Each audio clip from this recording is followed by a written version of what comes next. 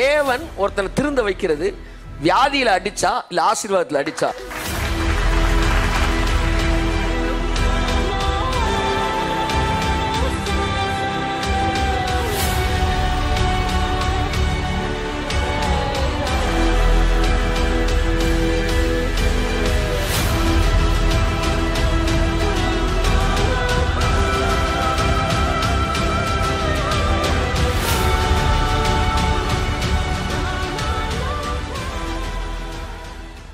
தேவன் ஒருத்தனை திருந்த வைக்கிறது வியாதியில் அடிச்சா இல்ல ஆசீர்வாதத்தில் அடிச்சா அதான் எனக்கு மெசேஜ் கை தட்டு அவருக்கு. அல்லா காட் ஸ்டைல் ஆஃப் ஸ்ட்ரைக்கிங் தேவனுடைய வந்து அடிக்கிற தேவன் அடிக்கிற ஸ்டைலே வேற. அல்லா சொல்லுங்க. இப்ப பாருங்க எஸ்ஐகே ராஜா எப்படி ஆசீர்வச்சிருக்கிறாரு?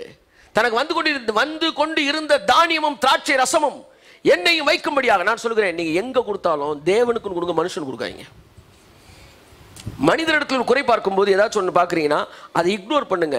ஏன்னா நீங்கள் அவனுக்கே கொடுக்கல. நீ தேவனுக்கு தான் கொடுக்குறீங்க. மனி மனிதனுக்கு கொடுக்கும்போது திரும்பி வராது. தேவனுக்கு கொடுக்கும்போது திரும்பி வருகிறது. ஸோ தேவனுக்கு கொடுக்குற நினச்சி நான் கொடுக்கும்போது நான் மனிதனை பார்க்கவே இல்லை. ஏனென்றால் இப்பொழுது நான் நன்கொடை தரவில்லை. இப்பொழுது நான் காணிக்க தருகிறேன். இந்த பணத்தை இதுக்கு செலவழிக்கலாமே அதுக்கு செலவழிக்கலாமேன்னு யூதாஸ் நினச்சான். இந்த இரநூறு பணத்துக்கு விற்று அப்படின்னு ஒரு அவர் சொல்றாரு எதை எப்படி செலவழிக்க எங்களுக்கு தெரியும். உரமண்ணு தரித்திரர் எப்பவும் இருக்கிறாங்க. நான் எப்பவுமே உங்கள்கிட்ட இருக்க மாட்டேன். அல்லையா சொல்லுங்க. ஆமேன் ஆமேன். ஸோ கொடுப்பதை விட நல்ல மனசு ரொம்ப முக்கியம். அந்த ப்ராட் மைண்டு ஆ ஆமேன். நம் ஜனங்கள் தாராளமாய் கொடுப்பவராய் மட்டுமல்ல ஏராளமாய் கொடுப்பவர்களாய் மட்டுமல்ல தாராளமாய் சிந்திக்கிறவர்களாய் இருப்பார்களாக. ஹலலூயா இங்க பாருங்க தனக்கு வந்து கொண்டிருந்த எசைக்கியா பாருங்க ஏர் தானியமும் திராட்சை ரசமும் எண்ணெயும் வைக்கும்படியான பண்டக சாலைகளையும் சகல வகையுள்ள மிருக ஜீவன்களுக்கு கொட்டாரங்களையும் மந்தைகளுக்கு தொழுவங்களையும் உண்டாக்கினான். அடுத்த வாசிங்க. அவன் தனக்கு. பட்டணங்களை கட்டுவித்து. ஏராளமான ஆடு மாடுகளை வைத்திருந்தான். இங்க பாருங்க நீங்களே வீடு தானே கட்டுறீங்க.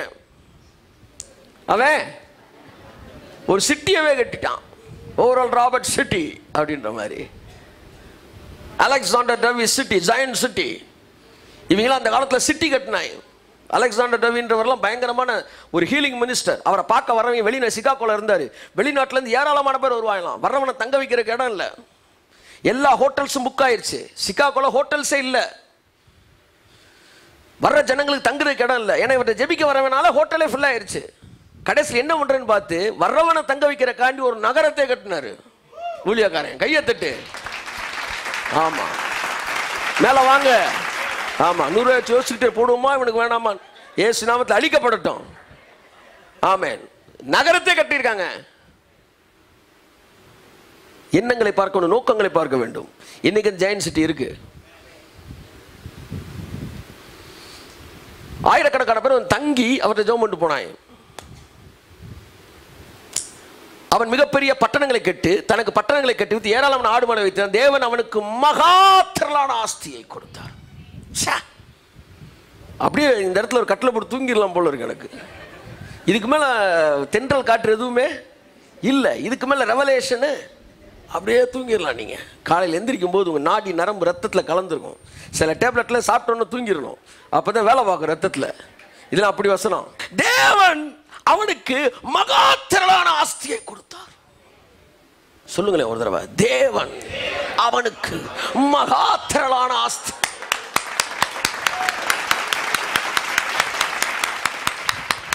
உங்களை குறித்து இப்படி வசனம் எழுதணும் இயேசு விடாமத்தில் உங்க பேரை சொல்லி கொஞ்சம் திருவாயை மலர்ந்து சொல்லுங்களேன். தேவன் உங்க பேரை சொல்லுங்க. ஜஸ்டினுக்கு. தே தேவன் ஜஸ்டினுக்கு மகா திரளான ஆஸ்தியை கொடுத்தார் என்று உங்கள் பகைஞர்கள் சொல்லட்டும். சொல்லட்டும். சொல்லட்டும் இயேசுவ நாமத்தினாலே.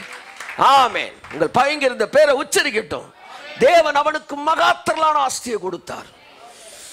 ஆ சிலருக்கு எதுக்கு அவ்வளவு அப்படின்னு தோணுது. ஆமாம் ஏன்னா அவங்க சுயநலவாதிகள். அவங்க தங்களை மட்டுமே நினச்சிக்கிட்டு இருக்கனால இது தேவையில்லைன்னு நினைக்கிறாங்க. ஆனால் என்னைக்கு மற்றவனுக்கு கொடுக்கணும்னு நினைக்கிறான் பாருங்க அவனுக்கு இது தேவை. அவனுக்கு இது தேவை. மிகப்பெரிய ஆலயங்களை கட்ட வேண்டும் இருக்கிறவனுக்கு இது தேவை. பல கல்லூரிகளை கட்டி ஏழை எளியவர்களுக்கு படிப்பு கல்வி வசதி கொடுக்க வேண்டிய நினைக்கிறவர்களுக்கு அது தேவை. அநேகம் ஆயிரம் ஊழியர்களை சப்போர்ட் பண்ண வேண்டும் என்று விரும்புகிறவர்களுக்கு அது தேவை. ஆஸ்தி அல்ல. திரளான ஆஸ்தி அல்ல. மகா திரளான ஆஸ்தி. எத்தனை அப்ஜெக்டிவ் பாருங்க. கையை தட்டு. பக்கத்துல தட்டி சொல்லுங்க. ஆஸ்தி அல்ல. இந்த பக்கம் தட்டி சொல்லுங்க. திரளான ஆஸ்தி அல்ல. மகா திரளான ஆஸ்தி. கையை தட்டு.